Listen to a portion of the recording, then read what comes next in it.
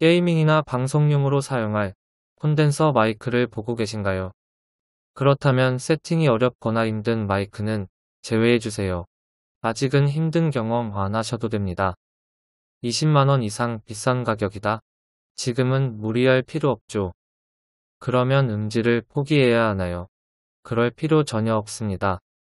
제가 오늘 괜찮은 마이크 하나를 소개시켜 드릴 예정이거든요. 이 제품은 책상이 너무 높거나 낮은 분들을 위한 arm stand도 포함된 세트 제품으로 10만원 초반대로 정말 괜찮은 가격을 보여주고 있습니다. 마이크 프리앰프와 오디오 인터페이스가 내장되어 있어서 복잡한 오디오 세팅 없이 USB 연결만으로 설치가 가능하죠. 처음에 어려워하시는 인터넷 방송 세팅 방법도 상세 페이지에 나와 있는 설명만 따라하면 끝. 단일 지향성으로 인터넷 방송과 보컬 녹음에 적합한 이 추천 제품. 댓글을 보시면 할인 링크로 따로 적어놨으니 꼭 한번 훑어보시는 것을 추천드립니다.